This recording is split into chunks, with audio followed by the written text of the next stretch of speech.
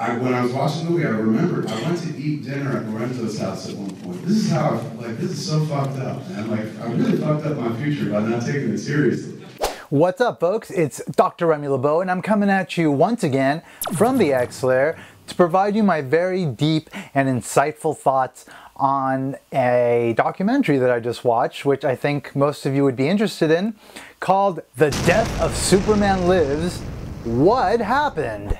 Stay tuned for my thoughts.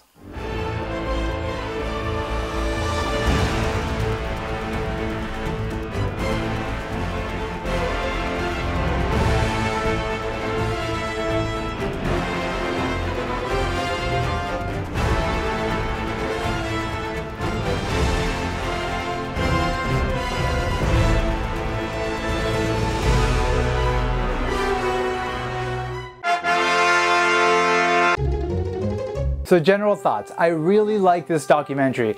It's a documentary that basically tells the story of what could have been in terms of this Superman film that was being developed in the 90s by Tim Burton, partly by Kevin Smith, and this very interesting character named Jon Peters, who together got the film three weeks close to starting production, and yet at the very last moment, shit went awry and the film did not get made. So my overall thoughts on this documentary, I think it was well made. I think that the story that it told was captivating for someone like myself, who Jon Schnepp, the writer-director, would call a sweaty nerd. And actually, I am a bit sweaty right now, so, and I am very nerdy. This is a very nerdy video, so it's a very apropos title. Um, the uh, film is for this sort of niche audience. Uh, I think other people might find it entertaining, but really it's for the fans of comic book films, of comic book heroes, of comic books in general, who either were aware or were not aware of the fact that this film was potentially almost on the verge of being made in the 90s. Today was the the third of a three-night premiere series here in Los Angeles. All three nights were at the Egyptian Theater here in Hollywood. Uh, each night there was like a, a Q&A afterwards. And tonight, this final night, Saturday night, uh, Kevin Smith was actually there. So it was really cool to have Kevin Smith actually be present and have Jon Schnepp and him sort of interacting in front of the crowd and you know kind of going into a little bit more detail on what what, went on behind the scenes on both the documentary as well as in the actual pro process that the film is documenting of trying to make this Superman movie that never that was never made. Another really cool aspect of this film is that Jon Schnepp did crowdfunding in order to get the film made, and so there's that very sort of um, communal nature to this film where so many individuals put they're, you know, they're just small uh, amounts of money into the film. I'm one of them. I gave like 20 bucks or something. He was able to simply tell a story that was interesting and tell it in the way that he wanted to tell it. And that's what's most important. And it turned out to be really good.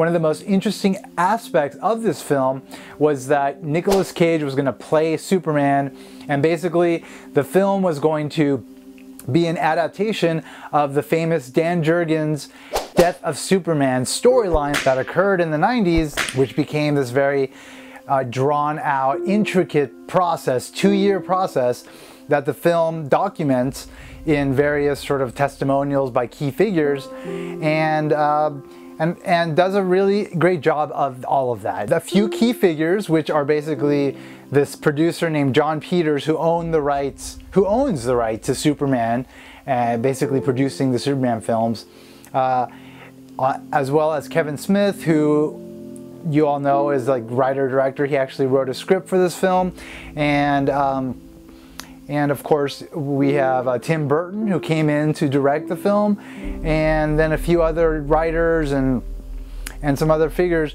Uh, the film does a great job of kind of just telling us exactly what went on during that time period, why this film never got made, and sort of detailing how far into the pre-production process the film got. But I'm not going to get into the details of that in this review. I'm not going to spoil the details.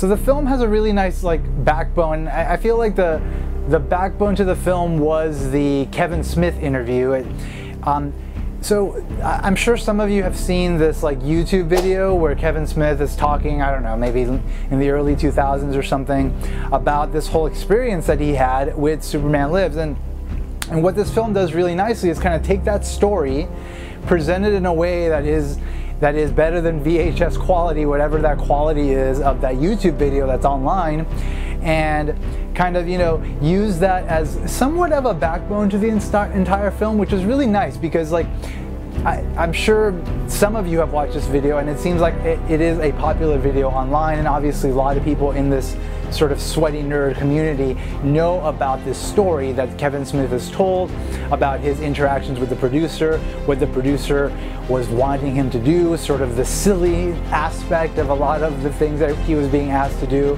And uh, what's great about the film and the fact that it, it does use it as a backbone is that it kind of like flushes the story out. Like it brings in this producer, Jon Peters, who turns out to be the star of the film. Um, Kevin Smith is sort of like the supporting star, but this Jon Peters character is a very interesting character because the story that Kevin Smith told was very one-sided, and it could easily have painted a, a, a, picture of this guy as being somewhat biased, you know, to Kevin Smith's perspective.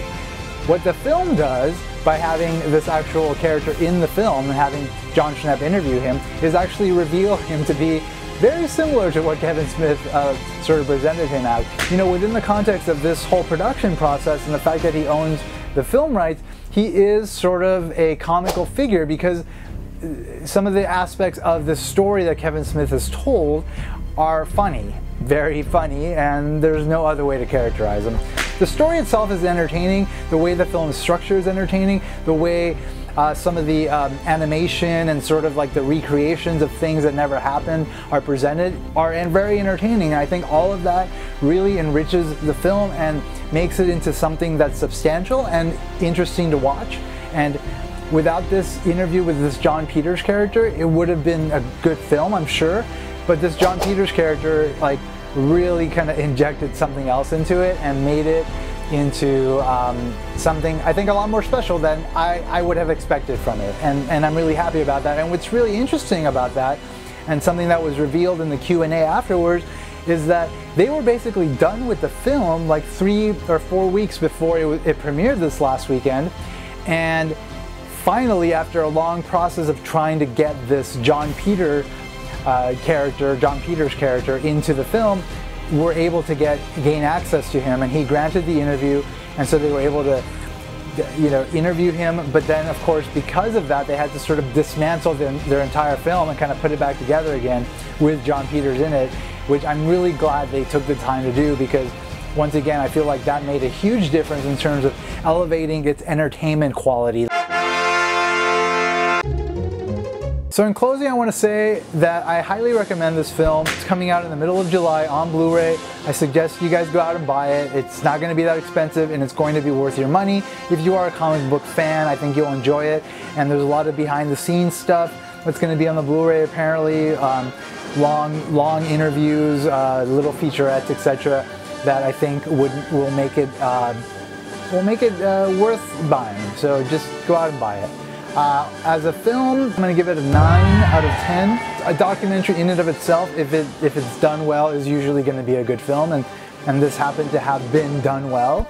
Well, thank you for checking out my video. Thanks for checking out my YouTube channel, Dr. Remy LeBeau's X-Lair. If you haven't already subscribed, you have the opportunity to do so. I hope all of you are doing well. And as always, I'd like to remind you that if you haven't already, you should put an X in that box because ain't nobody checking me, folks. Ain't nobody checking me. Take care. Bye bye.